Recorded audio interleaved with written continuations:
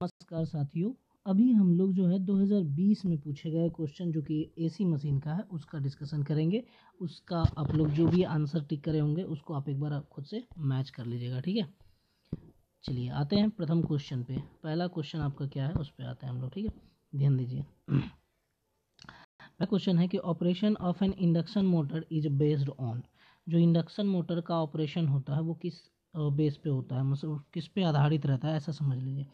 तो Lenz law या Ampere's law principle of mutual induction principle of self induction देखिए correct answer इसका हो जाएगा आपका principle of mutual induction option C ठीक है? ऑप्शन सी क्या होगा? करेक्ट आंसर चलिए नेक्स्ट क्वेश्चन देखिए। Which of the following statement associated with three phase induction motor is correct ये जो स्टेटमेंट यहाँ पे दिया हुआ है, इन सारे स्टेटमेंट में कौन सा स्टेटमेंट आपका सही है? ठीक है ना? इसका सही हो जाएगा, देखिएगा option C the stator winding produces a rotating magnetic field stator winding जो है, वो प्रोड्यूस क्या करता है? रोटेटिंग मैग्नेटिक फ़ील्ड जिसको कि आप शॉर्ट में क्या बोलते हो? आर एम एफ़ ठीक है? Rotating magnetic field next question आ जाइए क्वेश्चन नंबर तीन पे। देखिए क्वेश्चन नंबर तीन में कह रहा है कि in a three phase squirrel cage induction motor three phase squirrel cage induction motor जो होता है स्क्वायरल केज होता है, ध्यान रखिएगा, ठीक है? स्क्वायरल केज इंडक्शन मोटर, इसमें जो इंडरिंग बना होता है, इंडरिंग किसको बोलते हैं, आपको पता होगा, कुछ इस तरह से रहता है, और ये आपका, ये होता है, यही आपका क्या कहला रहा है, इंडरिंग कहला रहा है, ठीक है? तो जो इंडरिंग होता है, वो क्या होता है, शॉर्ट सर्किटेड होता है तो ऑप्शन ए इसका करेक्ट आंसर हो जाएगा, रोटर कंडक्टर जो होता है, are short circuited through end rings, ठीक है ना? ऑप्शन ए इसका क्या हो जाएगा, करेक्ट आंसर। चलिए, नेक्स्ट क्वेश्चन पे आइए। नेक्स्ट क्वेश्चन है आपका क्वेश्चन नंबर फोर, किधर गया? हाँ क्वेश्चन नंबर फोर पे आइए। In an induction motor if the air gap is increase देखिए इसको ध्यान दीजिएगा, ये बार बार पूछता है क्वेश्चन ठीक है? अगर किसी इंडक्शन मोटर में अगर एयर गैप को इंक्रीज कर देते हैं, तब क्या प्रभाव पड़ेगा? तो इसका पावर फैक्टर क्या होगा? रिड्यूस कर जाएगा ऑप्शन सी इसका क्या हो जाएगा? करेक्ट आंसर नेक्स्ट क्वेश्चन आ जाइए। ठीक है, इसका मार्क कर लीजिएगा, ये आप इसको बहुत बार पूछोगे, दो तीन बार हो गया इसका पूछा हुआ, ठीक है? हर साल लगभग लगभग ये पूछता है क्वेश्चन तो ऑप्शन सी इसका क्या होगा? Correct answer power factor will reduce question number five है ना? फोर क्वेश्चन नंबर फाइव पे आ जाइए। क्वेश्चन नंबर फाइव में आ जाइए। पांचवा में क्या कह रहा है क्वेश्चन में? ये ध्यान दीजिए। कह रहा है कि रोटर स्लॉट्स जो होता है are slightly skewed in squirrel cage induction motor. Induction motor जो आप पढ़े होंगे, स्क्वायरल केज इंडक्शन मोटर तो ये देखिए इंडरिंग होता है, इसमें कुछ इस प्रकार से ऐसे थोड़ा थोड़ा टेढ़ा रहता है ऐसे। ये स्क्यूड किया हुआ इसी को बोलते हैं हम लोग, ठीक है? तो ये जो इंडरिंग जो होता है, ये रोटर स्लॉट, इसको रोटर स्लॉट कहते हैं तो ये रोटर स्लॉट स्क्यूड किया जाता है, आखिर क्यों किया जाता है, ठीक है ना? यही क्वेश्चन आपसे पूछ रहा है तो इसमें देखिए, इसका करेक्ट आंसर जो हो जाएगा, reduce the magnetic hum and locking tendency of a rotor, option B जो होगा, इसका करेक्ट आंसर हो जाएगा। ठीक है ना? Option B reduce the magnetic hum and locking tendency of rotor चलिए क्वेश्चन नंबर छः पे आते हैं। क्वेश्चन नंबर छः को समझिएगा, ये थोड़ा सा पेचीदा समझ लीजिए बट इससे जुड़ा हुआ आपको दो तीन सवाल पूछता है, ठीक है ना? तो इसको आप पहले तो ये क्वेश्चन समझ लीजिए क्या है, उसके बाद हम लोग इसका आंसर एक एक बार करके बताएँगे, ठीक है? कहता है कि relative speed between a stator and rotor field in an induction motor is equal to relative speed पूछा जा रहा है, किसके बीच में स्टेटर के बीच में और रोटर फ़ील्ड के बीच में। ठीक है ना? तो इसके बारे में थोड़ा सा आप समझिए। एक मिनट। ध्यान दीजिएगा इस पर ठीक है? पहले तो ये समझिए कि जो स्टेटर होता है, स्टेटर बोल रहे हैं नॉट स्टेटर फ़ील्ड ध्यान दीजिएगा, ठीक है? स्टेटर क्या होता है? स्टेटर होता है मतलब फिक्स रहता है, ऐसा समझ लीजिए, ठीक ना? स्टेशनरी रहता है। स्टेशनरी ठीक? और रोटर क्या होता है? रोटर रोटेटिंग रहता है। ठीक? रोटेटिंग पार्ट है आपका। ध्यान से समझिएगा इसको, थोड़ा सा कन्फ्यूज़न होगा, नहीं तो ये आंसर गलत होने का चांस ज़्यादा रहता है। स्टेटर क्या होगा? स्टेशनरी रोटर क्या होगा? रोटेटिंग होगा। अब देखिए स्टेटर जो है स्टेटर स्टेटर आपका क्या प्रोड्यूस करता है? स्टेटर जो है प्रोड्यूस करेगा रोटेटिंग मैग्नेटिक फ़ील्ड ठीक है ना? इसी को आप लोग स्टेटर फ़ील्ड भी कहते हैं। ठीक ना? आर एम एफ़ जिसको बोलते हैं तो ये ध्यान दीजिएगा। स्टेटर में क्या प्रोड्यूस होता है? स्टेटर फ़ील्ड कह लेते हैं। ठीक है? स्टेटर फ़ील्ड स्टेटर फ़ील्ड हो गया। ठीक? और रोटर फ़ील्ड जो है, एक और होता है रोटर जो होता है, वो प्रोड्यूस करता है रोटेटिंग फ़ील्ड ठीक है? रोटर क्या प्रोड्यूस करता है? रोटेटिंग फ़ील्ड तो ये आ जाता है रोटर रोटर प्रोड्यूस किया रोटेटिंग फ़ील्ड अभी हम रोटर के स्पीड का बात नहीं कर रहे हैं। ये प्रोड्यूस किया रोटेटिंग फ़ील्ड स्टेटर क्या प्रोड्यूस किया? स्टेटर फ़ील्ड रोटर क्या प्रोड्यूस किया? रोटेटिंग फ़ील्ड अब रोटर जो होता है, एक खुद रोटेट करता है। जिसको कहते हो आप क्या? रोटर स्पीड रोटर स्पीड ठीक है? रोटर स्पीड अब देखो स्टेटर फ़ील्ड जो है, वो जो स्पीड होता है, उस, वो सिंक्रोनस स्पीड पे रोटेट करता है। रोटर का जो फ़ील्ड होता है, ठीक ना? रोटर का जो फ़ील्ड होता है, वह भी आपका सिंक्रोनस स्पीड पे ही रोटेट करता है। ठीक ना? स्टेटर का फ़ील्ड भी सिंक्रोनस स्पीड पे रोटेट करेगा। रोटर का फ़ील्ड भी आपका क्या होगा? रोटर फ़ील्ड पे मतलब सिंक्रोनस स्पीड पे रोटेट करेगा। बट रोटर का जो स्पीड होगा, वो आपका एन आर स्पीड से रोटेट करता है। कह सकते हैं कि सिंक्रोनस स्पीड से कम स्पीड पे रोटेट करता है। क्लियर हुआ यहाँ पर? स्टेटर फ़ील्ड क्या प्रोड्यूस करता है? मतलब स्टेटर स्टेटर फ़ील्ड कह लीजिए, रोटर कह लीजिए, एक रोटेटिंग फ़ील्ड प्रोड्यूस करता है।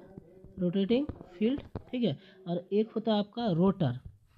रोटर जो होता है, वो अपना एक स्पीड रहता है। रोटर का खुद का एक स्पीड रहता है, जो कि एन आर कह लीजिए। ये जो होता है एन एस से कम होता है। एन एस से कम होता है। और ये क्या होता है? एन एस और ये क्या होता है? एन एस ठीक है? ये क्या होता है? एन एस समझ में आया? Stator field N S speed से rotor field N S speed से रोटर। एन आर स्पीड से, जो कि सिंक्रोनस स्पीड से कम होता है। अब देखिए, यहीं से क्या पूछा जाता है। ठीक है, इसी में से पूछा, पूछेगा आपको relative speed between rotor field and stator ध्यान दीजिएगा अस्टेटर तो आपका फिक्स रहता है। अस्टेटर तो आपका क्या है? फिक्स है रोटेट नहीं करता है। अस्टेटर फ़ील्ड रोटेट करता है अस्टेटर नहीं। तो अस्टेटर और, पूछेगा फिर इसी में अस्टेटर और रोटर फ़ील्ड अब रोटर फ़ील्ड मान लेते हैं। तो रोटर फ़ील्ड जो है, वो सिंक्रोनस स्पीड से रोटेट कर रहा है मतलब एनएस से। और अस्टेटर क्या है? ज़ीरो। स्टेटर स्टेशनरी है, फिक्स है, कोई इसमें रोटेशन नहीं है। स्टेटर में, ध्यान दीजिएगा। फिर से मैं बोल रहा हूँ स्टेटर आपका कांस्टेंट रहता है मतलब फिक्स रहता है स्टेशनरी रहता है। रोटर का जो फ़ील्ड है, वो रोटेटिंग स्पीड मतलब रोटर का जो फ़ील्ड होता है, वो सिंक्रोनस स्पीड से रोटेट करता है एन एस स्पीड से। तो एक का स्पीड ज़ीरो और एक का स्पीड एन एस तो रिलेटिव वेलोसिटी क्या हो जाएगा? ठीक है, उसके बीच का वेलोसिटी नहीं स्पीड रिलेटिव स्पीड क्या हो जाएगा? एन एस ठीक?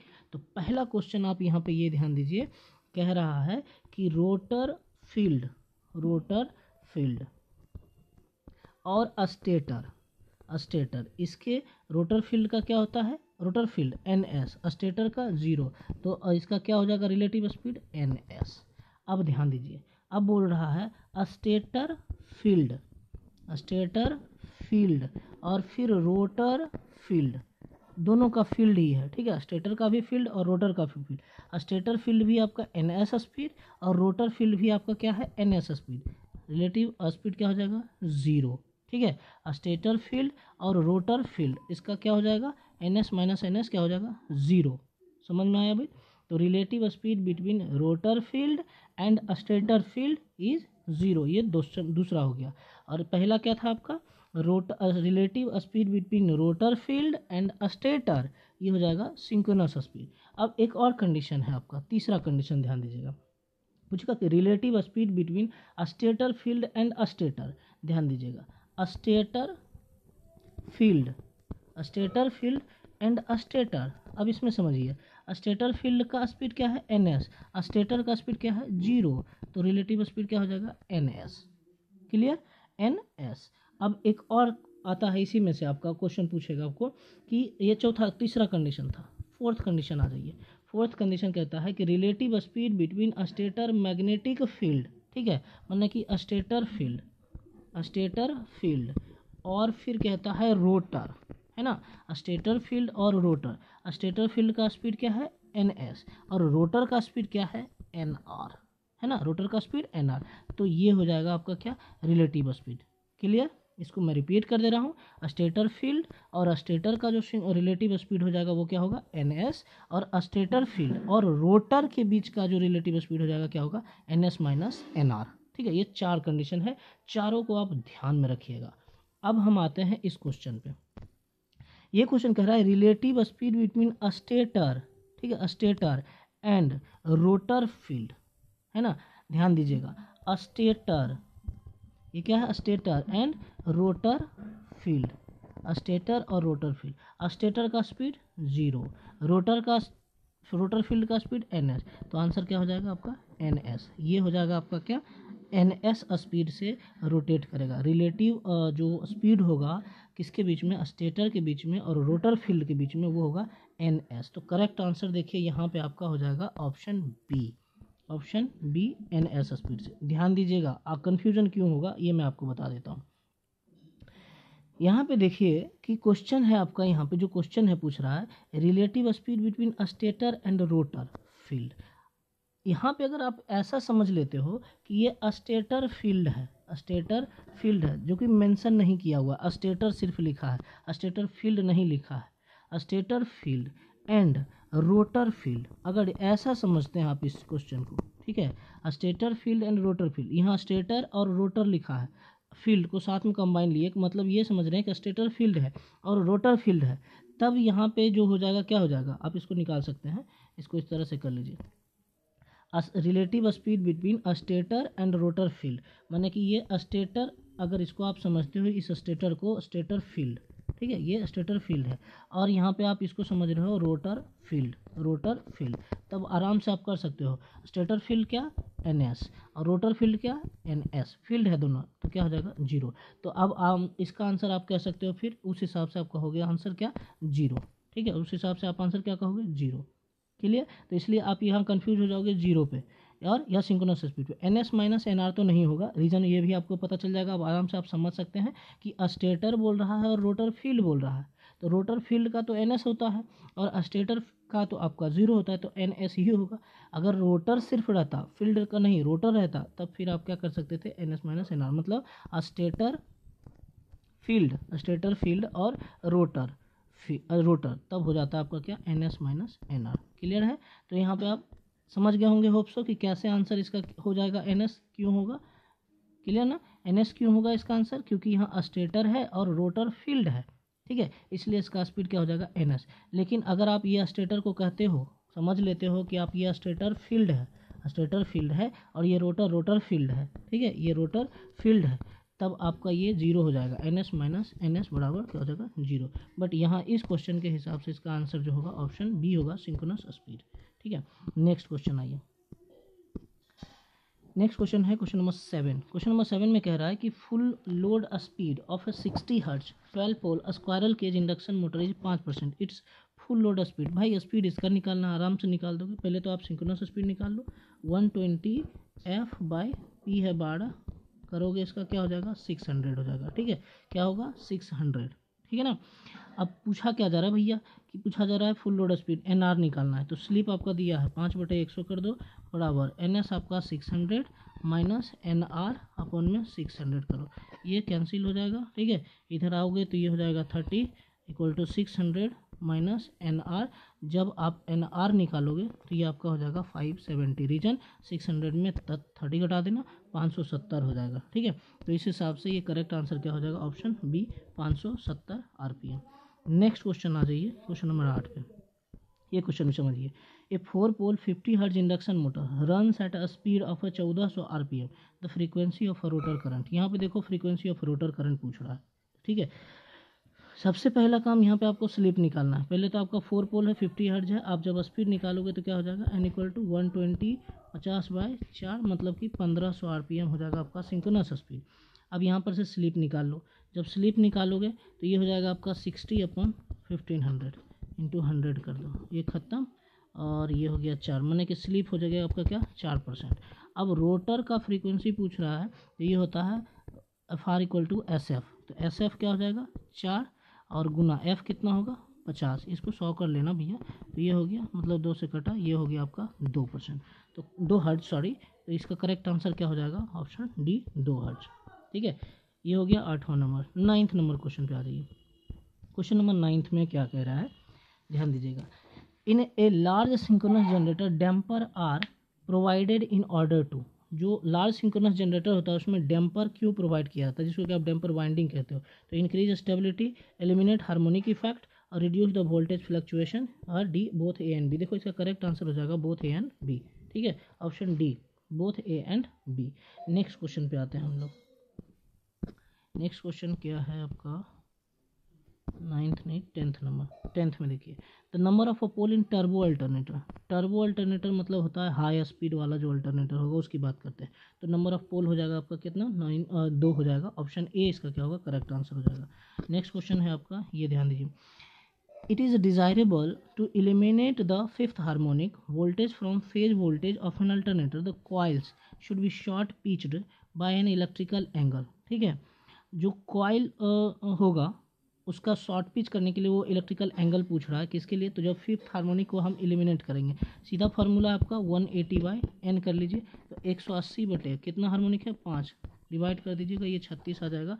करेक्ट आंसर ऑप्शन बी हो जाएगा, ठीक ना? नेक्स्ट क्वेश्चन आइए। नेक्स्ट क्वेश्चन पे आ जाइए, देखिए, ये क्वेश्चन थोड़ा सा है, आपका आंसर शायद इसका है हाँ। If the dimension of all the parts if the dimension of all the parts of an synchronous generator and the number of a field and armature turns are double then the generated voltage will change by a factor of ठीक है? पूछा जा रहा है कि सारा dimension को हम डबल कर दें, तब क्या प्रभाव पड़ेगा उसके ईएमएफ पर? ठीक है ना? वोल्टेज पे क्या प्रभाव पड़ेगा?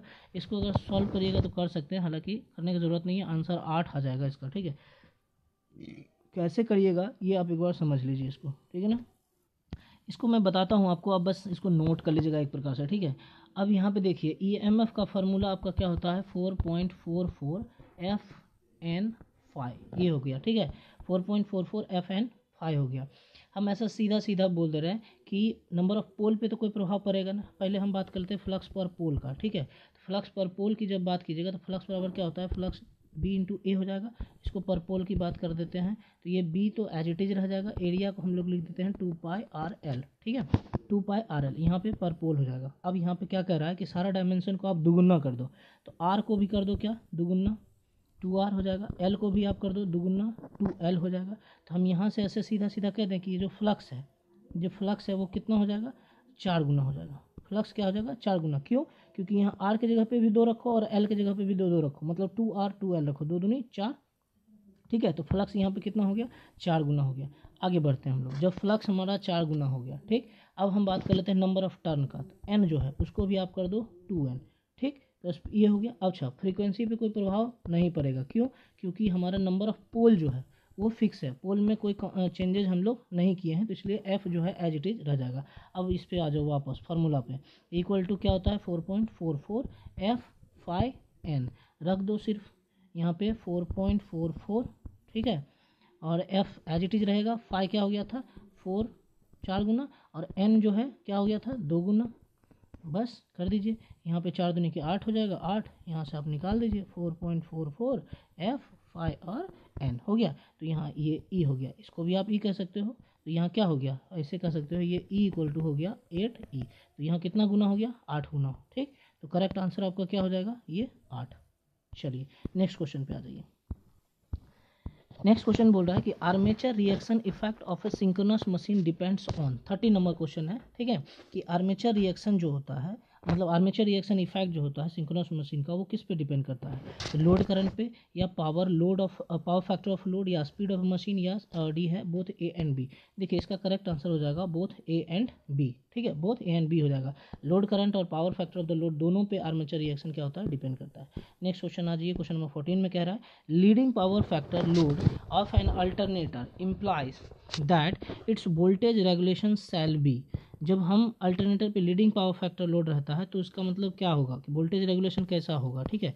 वोल्टेज रेगुलेशन पे क्या प्रभाव पड़ेगा? पॉजिटिव होगा निगेटिव होगा गुड हो, ज़ीरो होगा या एनी ऑफ़ द अब जानते हैं कि लीडिंग पावर फैक्टर जब रहेगा तो वोल्टेज रेगुलेशन अच्छा हो जाता है। मतलब कहाँ? अच्छा का मतलब निगेटिव में चला जाएगा ठीक है? तो इसका करेक्ट आंसर क्या हो जाएगा? ऑप्शन बी ठीक? इसका करेक्ट आंसर क्या होगा? Option B negative next question number आ जाइए फिफ्टीन में। क्वेश्चन नंबर फिफ्टीन में कह रहा है कि a three phase synchronous motor has three phase synchronous motor में क्या होता है? High starting torque non starting torque low starting torque और लो स्टार्टिंग करंट तो इसका करेक्ट आंसर हो जाएगा option B non starting torque होता है, ठीक है? इसमें क्या होता है? नॉन नो स्टार्टिंग टॉर्क कह लीजिए या नॉन स्टार्टिंग टॉर्क कह लीजिए। नेक्स्ट आ जाते हैं। यहाँ पे आ जाइए। In a synchronous motor torque और load angle delta dash with increase the load. मतलब सिंक्रोनस मोटर में टॉर्क कहिए या लोड एंगल कह लीजिए, जिसको कि डेल्टा से डिनोट करते हैं, उस पर क्या प्रभाव पड़ता है लोड बढ़ाने से? ठीक है ना? लोड बढ़ाने से क्या प्रभाव पड़ता है? तो वो इंक्रीज करता है। तो करेक्ट आंसर ऑप्शन क्या हो जाएगा? ऑप्शन ए ठीक है? ऑप्शन ए हो जाएगा इंक्रीजेज ठीक है? Option A increase next question आ जाइए। क्वेश्चन नंबर सिक्सटीन है ना? क्वेश्चन नंबर सेवनटीन पे आ जाइए। क्वेश्चन नंबर सेवेंटीन कह रहा है कि while starting a synchronous motor its field winding should be जब आप सिंक्रोनस मोटर को स्टार्ट करते हो तो उसका फ़ील्ड वाइंडिंग क्या होना चाहिए? ओपन रहना चाहिए शॉर्ट सर्किट रहना चाहिए, या डीसी सोर्स से कनेक्टेड रहना चाहिए, या डी रहना चाहिए? तो आप कह लीजिए इसका जो रहेगा, वो क्या रहेगा? शॉर्ट सर्किट रहेगा। करेक्ट आंसर ऑप्शन बी हो जाएगा शॉर्ट सर्किट नेक्स्ट क्वेश्चन पे आ जाइए। नेक्स्ट क्वेश्चन है in a shaded pole motor shading coil are use to shaded pole motor में आपका सेडिंग कॉयल जो रहता है, वो उसका यूज़ किस लिए किया जाता है? ठीक ना? ये produce rotating magnetic field correct answer option C हो जाएगा आपका. प्रोड्यूस रोटेटिंग मैग्नेटिक फ़ील्ड ठीक ना? ऑप्शन सी इसका करेक्ट आंसर हो जाएगा. नेक्स्ट क्वेश्चन नंबर नाइनटीन में आइए. The direction of rotation of a capacitor start single phase induction motor can be reversed by interchanging terminal है ना? बोला जा रहा है कि जो capacitor start single phase induction motor है, उसके डायरेक्शन को हम लोग रिवर्स कर सकते हैं, उसके रोटेशन को हम लोग चेंज कर सकते हैं। कैसे? तो बाय चेंजिंग देयर टर्मिनल किसके टर्मिनल को चेंज करके तो इसका करेक्ट आंसर हो जाएगा आपका स्टार्टिंग वाइंडिंग ऑप्शन डी इसका क्या होगा? करेक्ट आंसर हो जाएगा, ठीक? चलिए नेक्स्ट क्वेश्चन आ जाइए question number twenty last question है आपका। क्वेश्चन नंबर ट्वेंटी में बोल रहा है कि in comparison to resistance start induction motor the permanent capacitor motor ठीक है ना? मतलब जब कंपैरिजन करोगे रेसिस्टेंस स्टार्ट कैपेसिटर इंडक्शन मतलब रेसिस्टेंस स्टार्ट इंडक्शन मोटर का विद परमानेंट कैपेसिटर मोटर से तो उसमें क्या क्या है? उसका मतलब कंपैरिजन होगा ऐसा समझ लीजिए, ठीक है? तो is more expensive has better power factor has better starting torque all of this देखिए, इसका करेक्ट आंसर क्या हो जाएगा? ऑल ऑफ़ दिस ठीक है? तो इसका मतलब क्या है? रेसिस्टेंस स्टार्ट इंडक्शन मोटर में क्या होता है, ये सारा चीज़ होता है एक्सपेंसिव होता है बेटर पावर फैक्टर होता है और स्टार्टिंग टॉर्क भी अच्छा होता है। क्लियर ना? नहीं नहीं, ये उल्टा मैंने बोल दिया। Comparison to resistance start induction motor permanent capacitor motor the permanent ये सब जो है परमानेंट कैपेसिटर मोटर के लिए होगा, ठीक है? रेसिस्टेंस और स्टार्ट इंडक्शन मोटर और परमानेंट कैपेसिटर मोटर को जब आप कंपैरिजन करेंगे तो परमानेंट कैपेसिटर मोटर में ये सब होता है मोर एक्सपेंसिव पावर फैक्टर भी होता है और हाई स्टार्टिंग टॉर्क भी इसका होता है ठीक है?